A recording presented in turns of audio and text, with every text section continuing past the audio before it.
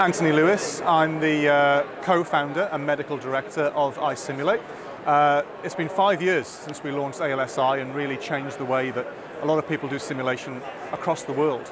Uh, so five years later, we want to do something different. So we're going to bring you REALITi. And um, I'm just going to walk you through what REALITi does.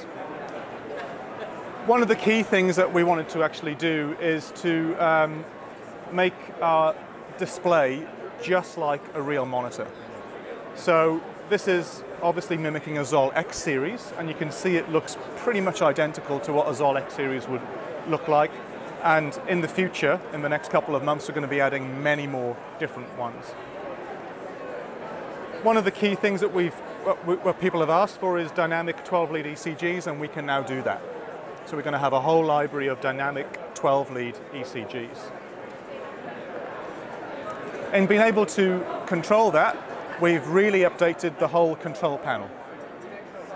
So this is a, a mock-up of what it's going to look, look like. And we've gone for dials. Dials are really cool things to use. They're easy to move. You can tap anywhere on the dial to move it. It offers very quick control, and it offers very fine control, all built in, built in to the same device.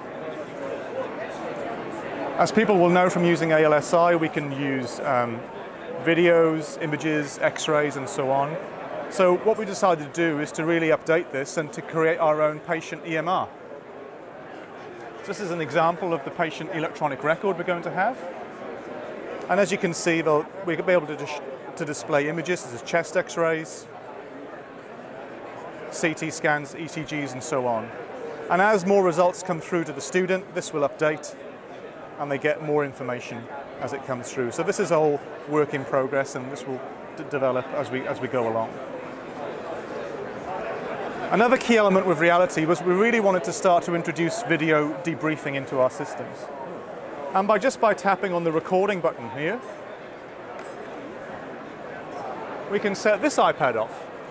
So this iPad is our video debriefing iPad. And as you can see, it's been set into Padcaster, now Padcaster is a, is, a, is a device that's actually you can buy online. And what Padcaster has is a fantastic mount for the iPad to keep it very secure and a wide angle lens. Obviously it's got a high quality microphone as well. Now what this iPad is doing is actually quite clever. It's been able to display the scenario that you're filming, record it on the iPad, and stream it at the same time to Apple TV. So essentially, the students who are watching this in another room can now see what's happening. We've gone away from picture in picture. We don't like picture in picture. We prefer head up dis displays. It allows simplicity, makes it lovely and clear. Now, your students watching this, they may or may not be engaged. So we want to engage them. So they're going to be able to use REALITi Vote. So as they're watching things that are happening in the scenario, they can make comments, such as like, dislike, good communication, poor communication, and so on.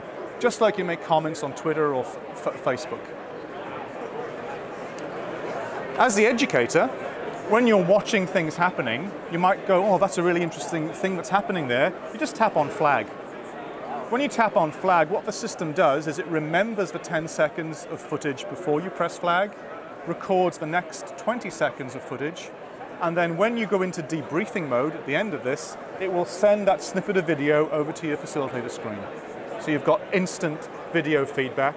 You'll see all the vital signs will appear here. You'll see all the voting from your students. So we've got an instant, quick video debriefing system. So REALITi is going to be released on May the 4th this year, so we've got about 90 days to go, and we've got another 18 months of development ready and waiting to deploy with REALITi, so it will build and build and build over the next two years.